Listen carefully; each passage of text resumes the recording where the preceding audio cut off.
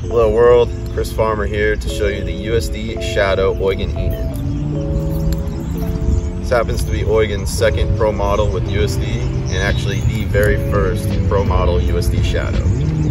The skate comes with uh, MyFit Eclipse walkable liner, uh, Kizer Fluid 5 frames, flat set of USD 6088 wheels, and Wicked ABEC 9 bearings.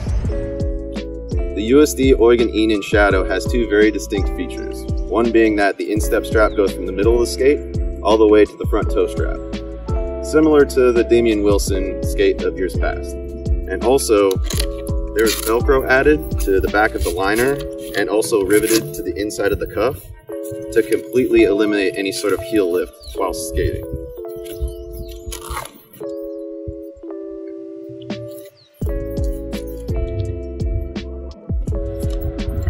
Let's lace these up and have a first sesh.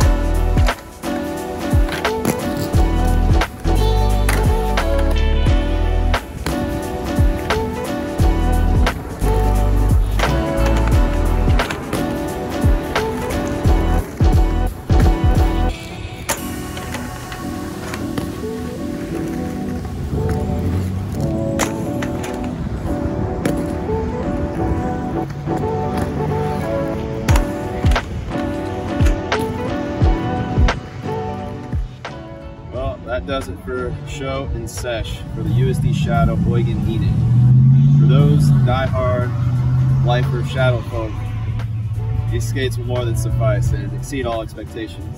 But for those whose vibe is a traditional hard shell boot, but you're looking to skate a little something out of left field, these will make you a believer.